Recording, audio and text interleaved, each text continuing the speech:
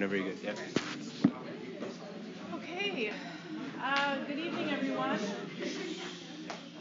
Um, my name is Marianne Guirguis. Uh, it's a pleasure uh, to be with you all. Thank you so much for having me, and thank you to Akram for the invitation.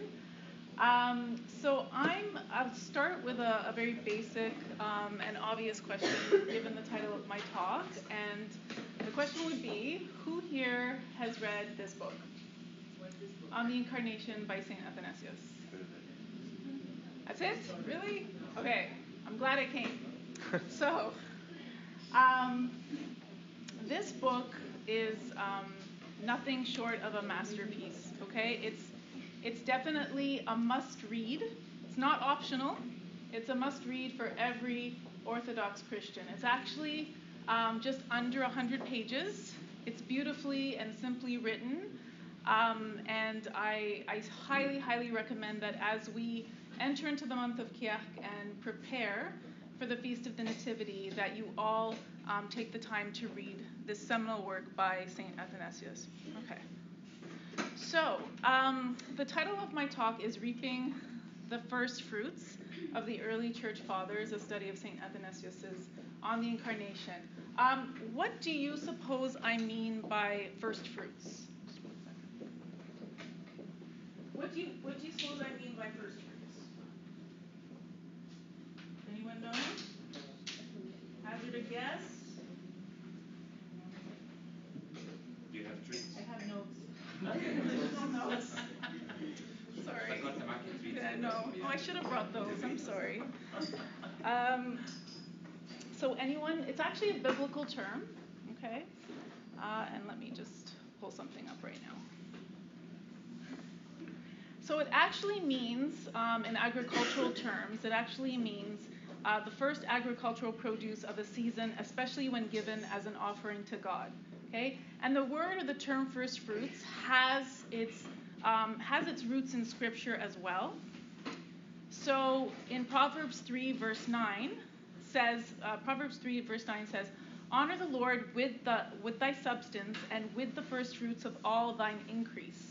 And then in Romans 11, verse 16 says, For if the first fruits be holy, the lump is also holy. And if the root be holy, so are the branches. So essentially, reaping the, the first fruits of the early church fathers, it means that they have produced for us incredible writings that they have you know passed down from generation to generation. They're ours for the taking.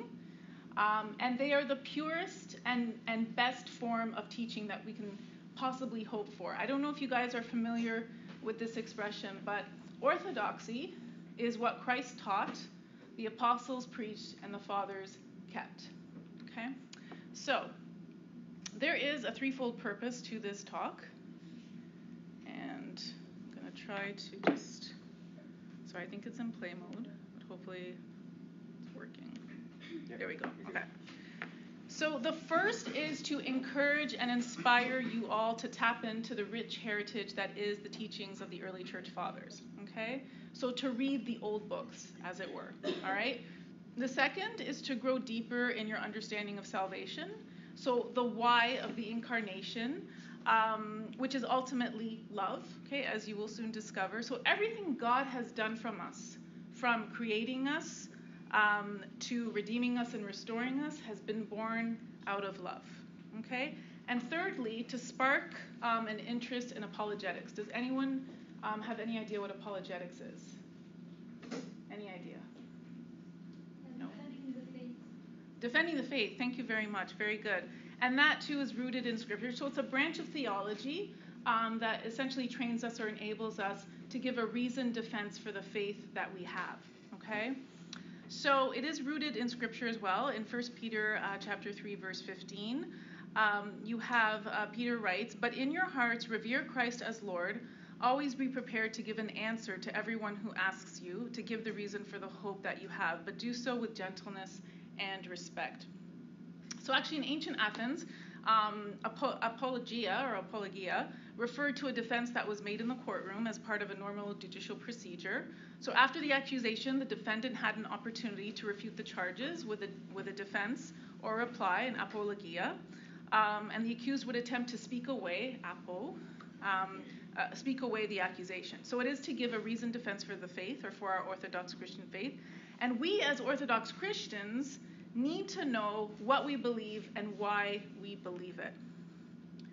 Now, a second part of uh, Christian apologetics, or that verse that often or sometimes gets ignored, um, is the second part that says, But do this with gentleness and respect. So, defending the Christian faith using apologetics, um, it should never be, it should never involve being rude or angry or disrespectful, even though you strongly disagree with another person's opinion. Um, we should always actually just strive to be strong in our defense and at the same time Christ like in our presentation. Okay? So if we win a debate and we turn the per- person away from Christ or from God, that completely defeats the purpose, right? So, Christian apologetics, just remember this as a takeaway. It's not about winning an argument. I, am so happy that I found that picture.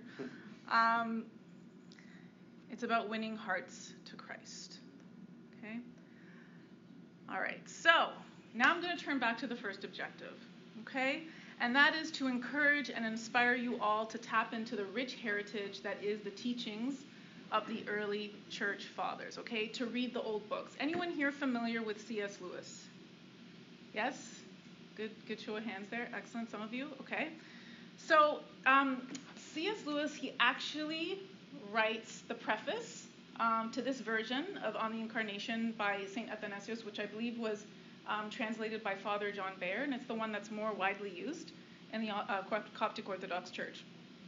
So he actually writes this. He says, There is a strange idea abroad that in every subject the ancient books should be read only by the professionals, and that the amateur should content himself with the modern books. Thus, I have found as a tutor in English literature that if the average student wants to find out something about Platonism, the very last thing he thinks of doing is to take a translation of Plato off the library shelf and read the Symposium.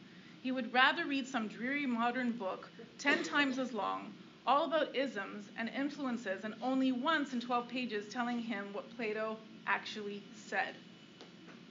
Okay? Why do you suppose we shy away from the older books and gravitate toward um, the contemporary modern authors and their writings? It's, it's, it's, it's, thank you, tough to understand. Very good. I mean, to some of you, it may seem to be a simple question, but it does need some unpacking. Why else? Why do we shy away from the older books? Why haven't we all read this, for example? Which by the end of our talk today, my hope and my prayer is that you're all going to read this. And literally, it's, it's under 100 pages. So, um, and it's so beautifully and simply written. So I, I really do encourage you all to read this. Another reason why, yes? The misconception it's a hard read. Very good. The, the misconception that it's a hard read. And so um, I'm hoping that with this talk, I'm going to be able to debunk some of those misconceptions and some of those um, ideas that you have about the ancient, uh, the writings of the uh, early church fathers. Why else? Lack of relevance, perhaps? Yes? People tend to shy away from theology. Theology, very good. Yes, it's, it's, it's the study of, of God, right? Theology is the study of God. Okay, good. Um, excellent answer. Thank you, Mariana. Okay, so lack of relevance, practicality, um, not relatable, not applicable, and you also probably don't want to go through the perceived trouble of searching and reading the ancient works. Well, C.S. Lewis actually provides a plausible answer as well, okay? He says that the error is rather an amiable one, for it springs from humility. The student is half afraid to meet one of the great philosoph- philosophers face to face. He feels himself inadequate and thinks he will not understand him. But if he only knew the great man just because of his greatness is more intelligible than his modern commentator, the simplest student would be able to understand, if not all, yet a very great deal of what Plato said but hardly anyone can understand some modern books on Platonism. It has always, therefore, been my one main endeavor as a teacher to persuade the young that first hand knowledge is not only more worth acquiring than second hand knowledge, but is usually much easier and more delightful to acquire. Okay? So rather than read the old books, sorry, rather than read books about okay, great thinkers of the past, he's saying that readers should go directly to the source and obtain first-hand knowledge, which is usually much easier and more delightful to learn. This is very good advice, especially as we apply it to St. Athanasius' On the Incarnation. Okay? And again, it's a relatively short work, it's just under 100 pages, um, but it develops into a comprehensive, easy to read Christology. Okay? How's my pitch so far? All right. So, what is Christology? Does anyone know? Yes? Study of Christ's nature. Excellent. The study of Christ. I, that, that even is more a precise answer. The study of Christ's nature. Very good.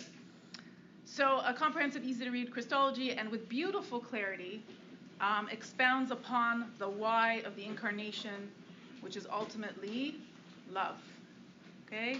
Everything, I'm going to keep repeating this, everything that God has done from creating us to redeeming us and to restoring us has been born out of his love for us. Okay? Now, I, am sorry, I'm just harping a little on the C.S. Lewis. Just, I love this introduction, it was just amazing. Um, he goes on to say, naturally, since I myself am a writer, okay, now he was a 20th century um, British, uh, and a prolific writer at that, British author and apologist um, in the 20th century. And he led a lot of people to Christ during the Second World War in the UK, in Britain. He says, naturally, since I myself am a writer, I do not wish uh, the ordinary writer to read no modern books. But if he must read only the new or only the old, then I would advise him to read the old. Okay, that's how much he loves this book, right? So you're talking about one of the most prolific, as I mentioned, and influential Christian authors on apologetics of the 20th century telling us, okay, and future generations to prefer and prioritize and ascribe greater value to On the Incarnation and the works of the early church fathers than mere Christianity or The Problem of Pain, which is two of his, um, two of his works, C.S. Lewis. I got through parts of it. Please don't assume I've read all this. I haven't. so he then, um, C.S. Lewis, C.S. Lewis then states, and I would give him this advice precisely because he is an amateur. Listen carefully here. and therefore much less protected than the expert against the dangers of an exclusive contemporary diet. Okay? What does this mean? What does he mean by an exclusively contemporary diet?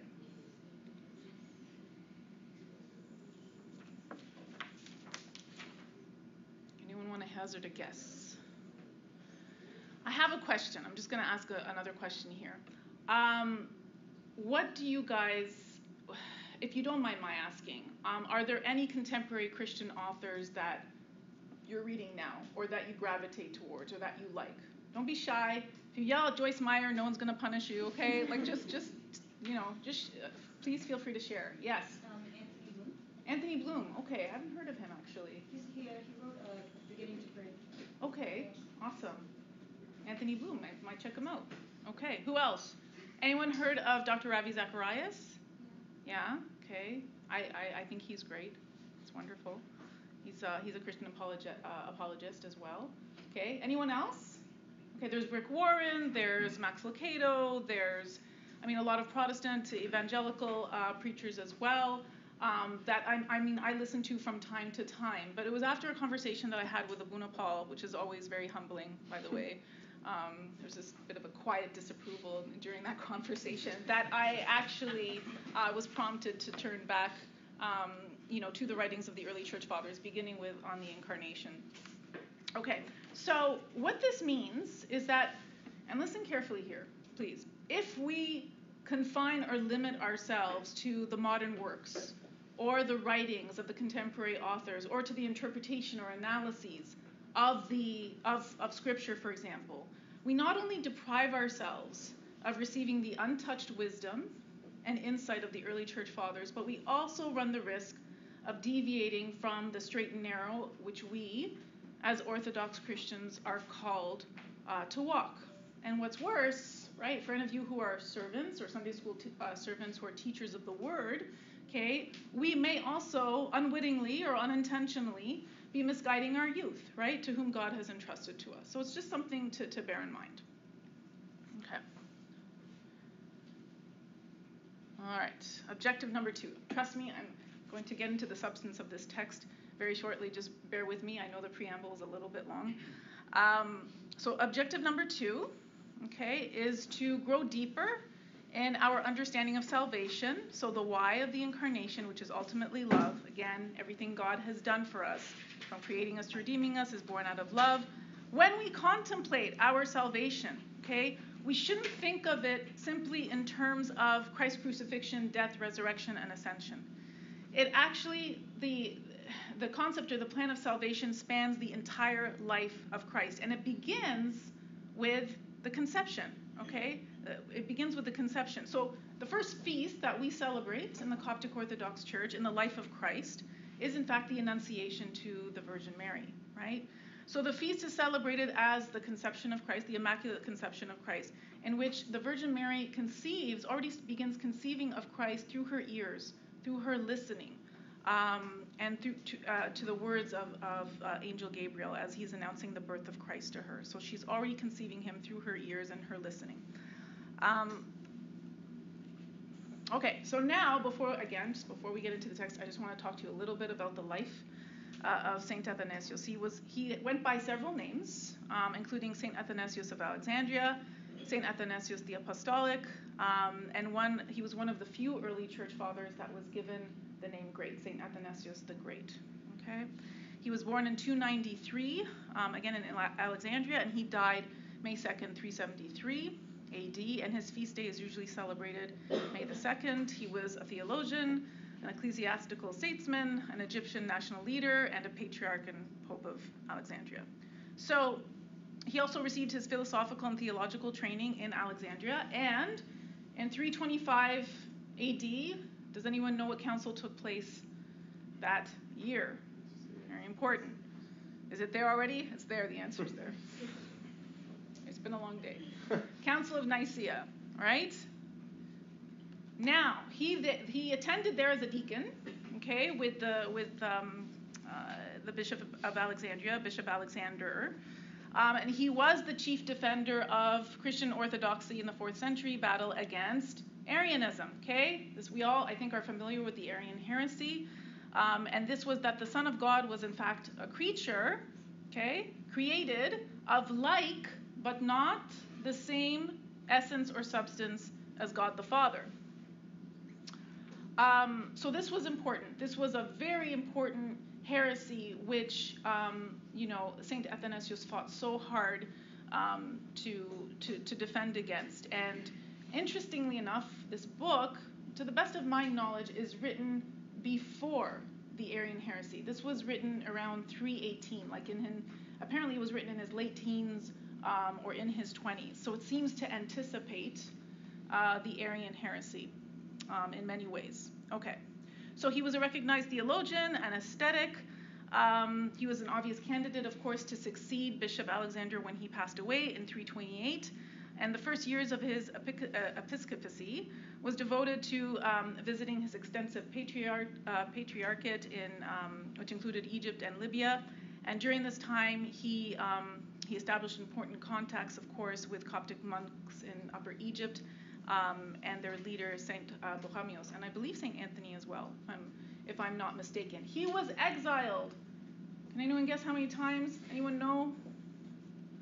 Five times. Five times during um, his 17 year episcopacy. Okay, we're going to get into that a little bit later.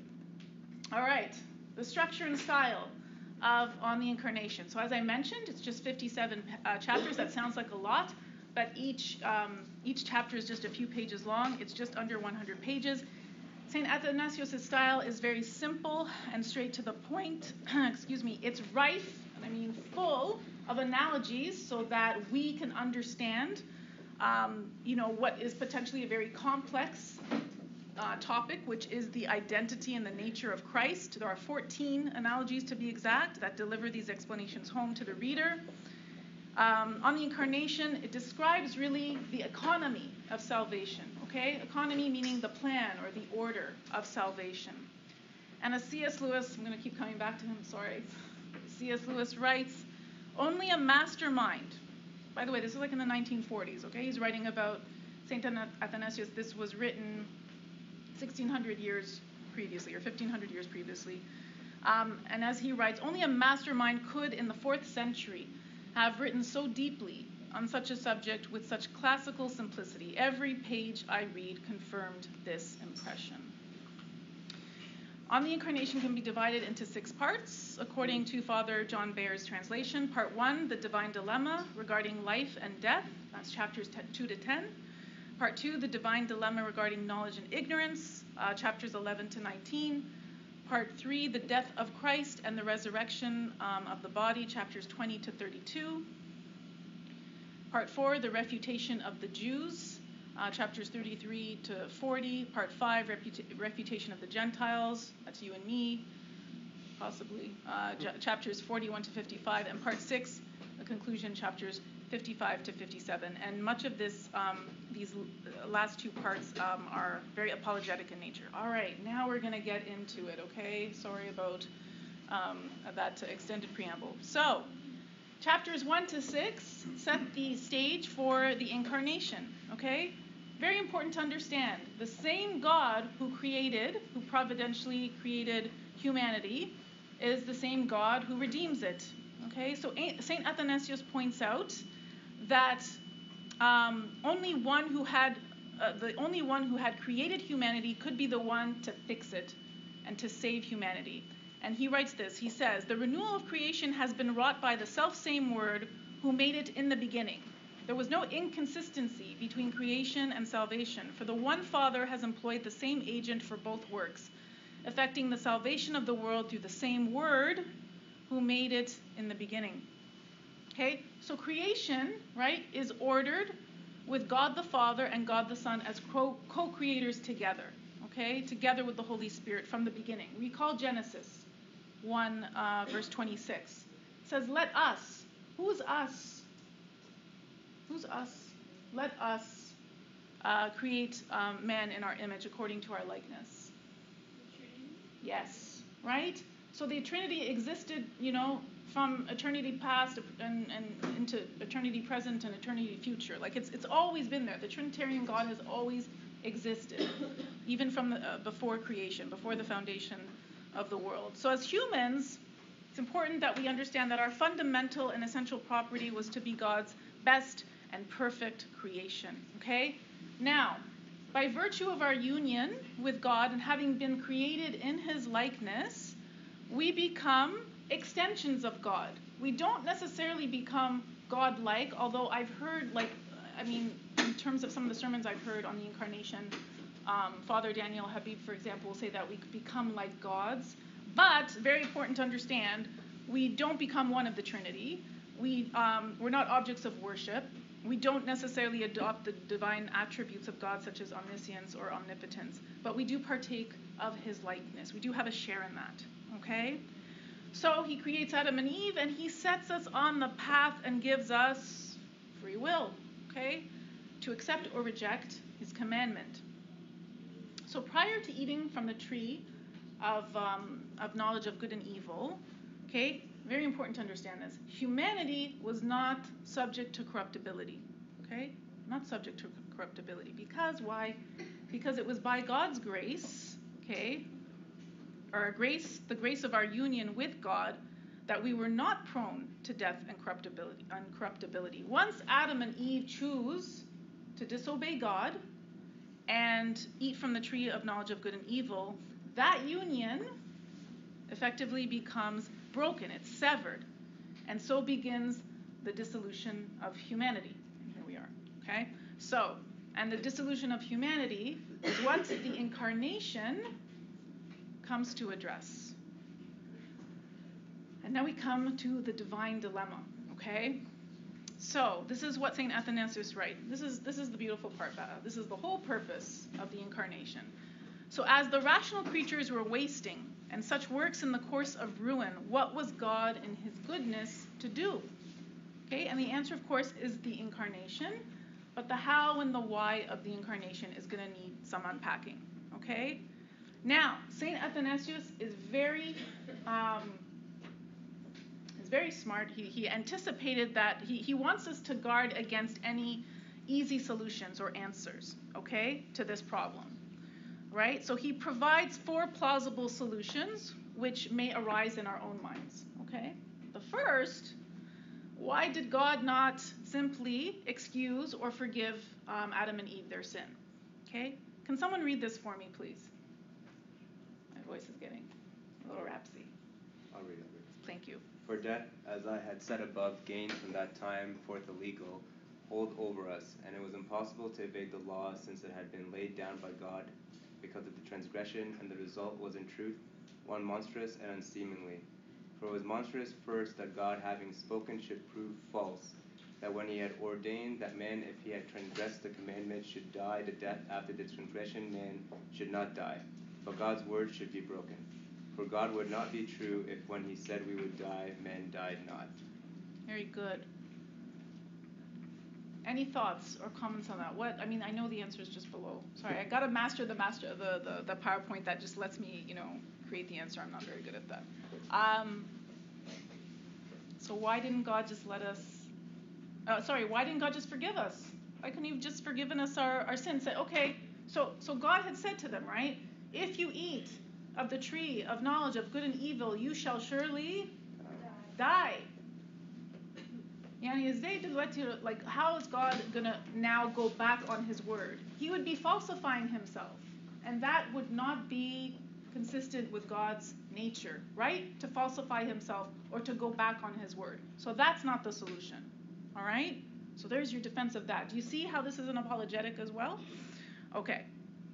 Next possible solution. So why didn't God just let humanity perish? Khalas, you sinned, you've made your choice. Um, why didn't he let? Why didn't God let humanity perish in its sin and corruption and just start again? Okay, who wants to read other than Akram? And if you need to come closer, I understand. I'm sorry, it's a little small, but I'd like another volunteer. Should I ask Peter? Hi, Peter. Sure. Okay, thank you. Just the verse. Yes, just the blue. Yeah. Again, it were unseemly that creatures once made rational having partaken of the word should you go to ruin and turn toward non-existence by the way of corruption. For it were not worthy of God's goodness that the things He had made should waste away, because of the deceit practices on you. The and an- another doubt. Thank So the answer is actually within the text itself, right? Because for we're not worthy of God's goodness, okay? Would not be consistent with His um, with His goodness to let man perish. Solution number three. So why did God? Why did not God then simply let humanity die out? Let them die out. Who'd like to read this part? I'll read it. It's okay. So, as the rational creatures were wasting, we had actually read this, uh, I had quoted this before. So, as the rational creatures were wasting and such works were in course of ruin, what was God in his goodness to do? Suffer corruption to prevail against them, and death to hold them fast? And where were the profit of their having been made to begin with? For better were they not made than once made, left excuse me, left to neglect and ruin. For neglect reveals weakness and not goodness on God's part. If that is, he allows his own work to be ruined when once he had made it, more so than if he had never made man at all. For if he had not made them, none could impute weakness, but once he had made them and created them out of nothing, it were most monstrous for the work to be ruined, and that before the eyes of, of the Maker. It was then out of the question to leave men to the current corruption, to the current of corruption, because this would be unseemly and unworthy of God's goodness. Again, again, it would be inconsistent not only with God's goodness, but with His um, His loving and merciful nature as well. It's in His nature to fix. It's in His nature to help. It's in His nature um, to to solve and to to extend mercy and love, even though we do not deserve it. So. Solution number four, uh, why couldn't we have repented? Why couldn't they have just repented? God, I'm sorry. We repent all the time, right? Halas, forgive me. I'm sorry. I come to you with a contrite and, and broken heart, and, um, and I'm seeking your forgiveness. The reason is this, okay? Repentance does not recall from men. Again, I'm quoting um, St. Athanasius here. Repentance does not call recall men from what is according to his nature. All that it does is to make them cease from sinning. Okay? So, had it just been a minor misdemeanor or a trespass or whatever, and not subsequent corruption, we have to understand now that our nature has now been corrupted, okay, irreversibly so. Repentance would have well been enough. But when one sin transgression had begun, men came under the corruption proper to their nature, bereft of grace. Okay, remember it was by the virtue, by virtue of the, the grace, uh, the union that we had with God, that we were not subject to corruptibility. Once Adam and Eve disobeyed, they disconnected themselves from God, from the source of life, and they were subject to corruptibility. Okay, so repentance could not meet the case now, the incarnation. All right? So, the incarnation becomes necessary. Okay? None of these solutions um, will work. So, St. Athanasius has set up a theological premise, okay, that God the Father and God the Son, or God the Word, create, sustain, and redeem together, um, in which humanity's sin, okay, humanity's sin has the twin effects of death and corruption. And the situation of humanity's sin is such that it cannot persevere into an eternal blessed life with God. Okay? The eternal blessed life. Now, now sin has even blind, blinded them from perceiving the image of God, from knowing God. Okay? So now the incarnation has its work to do, has to recreate humanity in the divine image. Okay? The corrupted humanity needs to be restored to the likeness and image of God. So God does what? He takes flesh he unites himself with a body, okay? And he becomes the God man. He forms within himself a bridge between God and man in himself, okay? So, with the incarnation, as I just mentioned, God takes one of our bodies, he takes it on completely, not just in appearance, he takes on our human nature as well. So, he is fully divine and he is fully human, right? Um, and he takes on a body that is corruptible or subject to death. Very important that you understand this point. In order to defeat that death, and because the incarnate word is without sin, okay, Jesus, God himself, God is without sin, or Jesus is without sin, his sin undoes the relationship between sin and death. Okay? All the bodies, which is us, we can now hold to this one body, okay, of Christ. And we die with that body as well when he dies. Okay?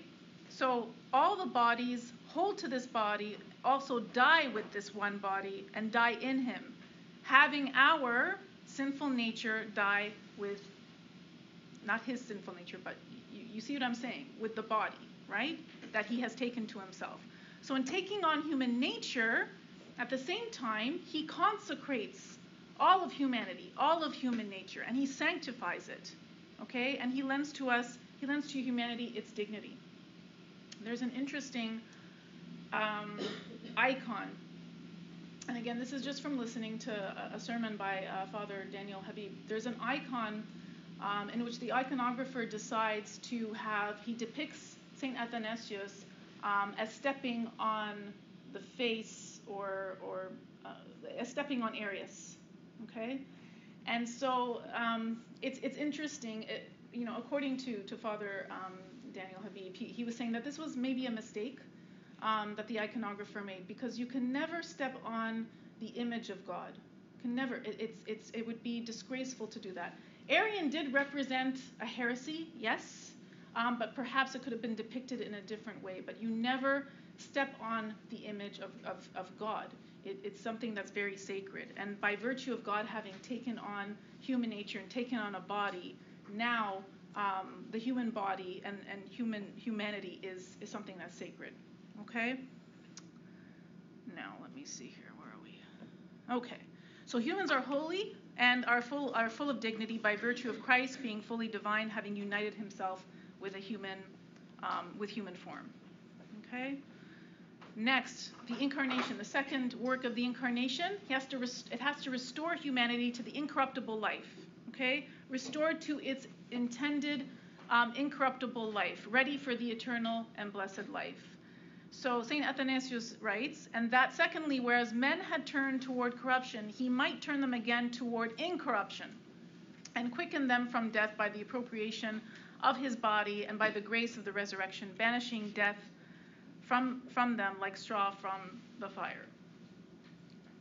So, what is the purpose uh, of, of restored humanity? It's to know God, right? Corruption and sin had dimmed us, had blinded us from, um, uh, from the image, from understanding, from apprehending um, who God was.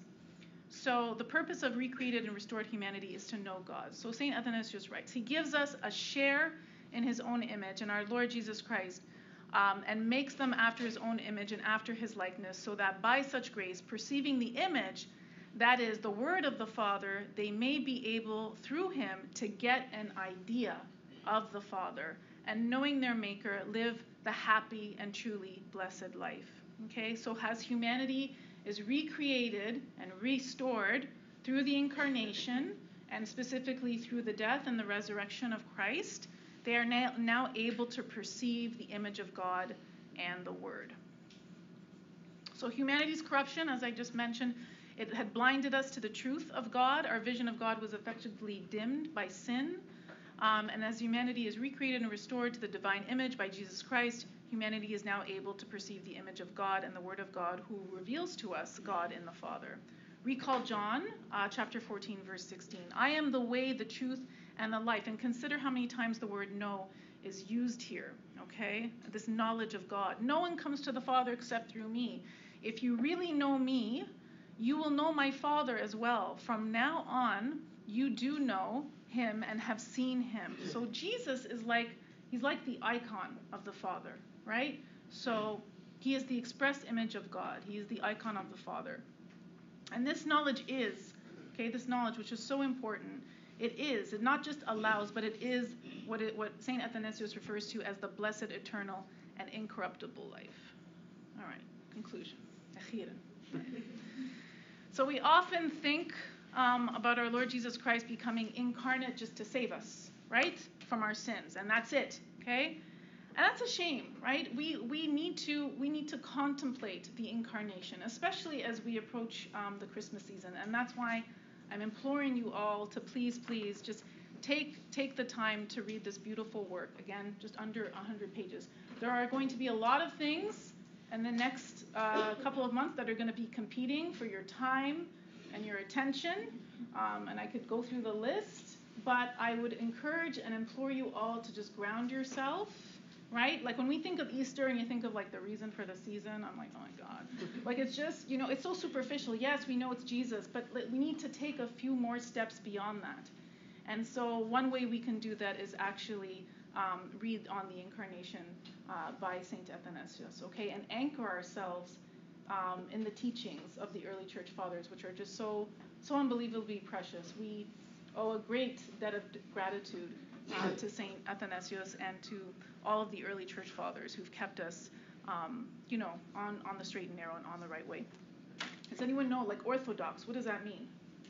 What does ortho mean, right? To make straight, right? Your orthodontics, you get your yeah, you get it. Okay, good. All right, so. Um, Okay, so we often think of our Lord Jesus Christ uh, becoming incarnate in order to save us from our sins. For many, that is where we, the, the thinking stops, the contemplation stops, okay? And this is very simplistic thinking. Let's avoid this. The, the, Jesus is the reason for the season. That's simplistic, okay? And this type of thinking doesn't allow us to fully understand what humanity actually means to Jesus Christ, right? This, this book is all about his love for us. It always comes down to that. So it helps us uncover what you and I mean to God. Okay? And it leads us it leads us to so many revelations about God the Father and his character. So um, we don't believe that we are just you know, crowns of God's creation because of our own speculations or conclusions. We believe it because of the incarnation, okay? The fact, the simple fact that God became incarnate and, God, and condescended to us, to humanity, um, to save us. So, um, St. Athanasius, he arms us with a thorough and complete understanding of who Christ is so that, and again, this is something that I touched upon at the beginning, so that we'll be able to reject the subtle and nuanced attempts to dilute both the theological heritage of the church and the living word revealed to us in Scripture.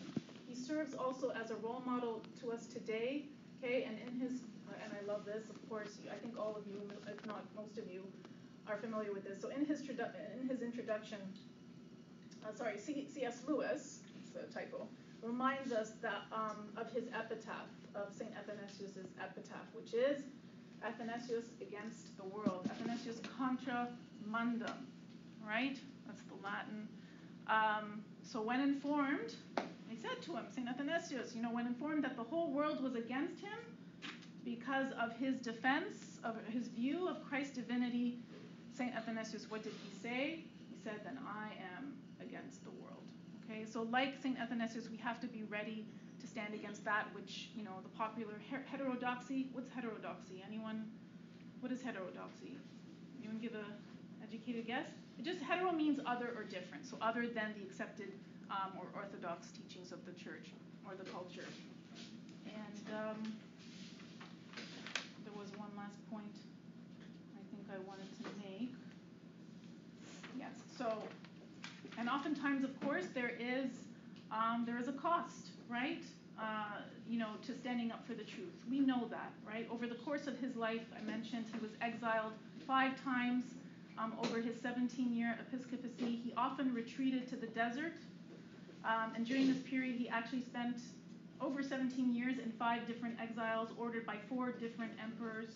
Um, he, he sat sub and subjected himself. He sat with. Um, he subjected himself to monasticism and to the ascetics and to the, I guess, the tutelage and the guidance of Saint Anthony and Saint Pachomius.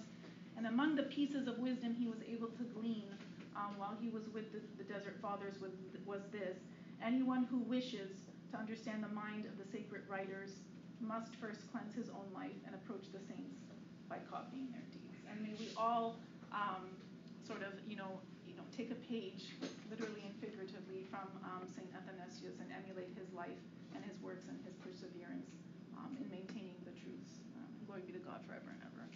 Amen. All right, so. Um? So who's gonna get this? right? It's very easy. You can get it on Kindle. It's like 20 bucks on Amazon. I personally prefer, you know, cracking open a spine and, and reading an actual book. This was lent to me. This is on loan.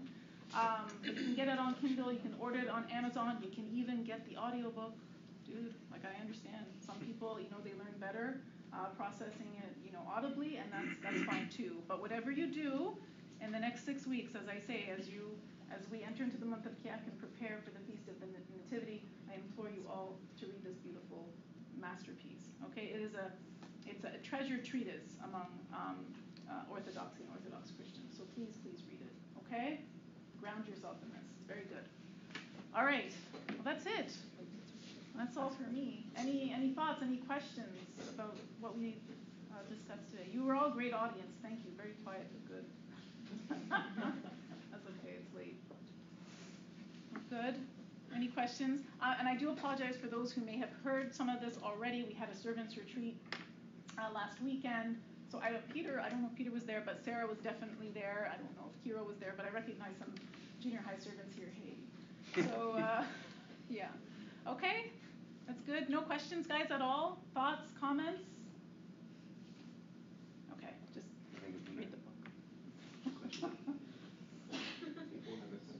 Did someone have a question? No? Okay. Uh, I had a splitting headache when I came in, and Maybe it's you gone. should ask questions, Maria, for to make sure that. But they understood?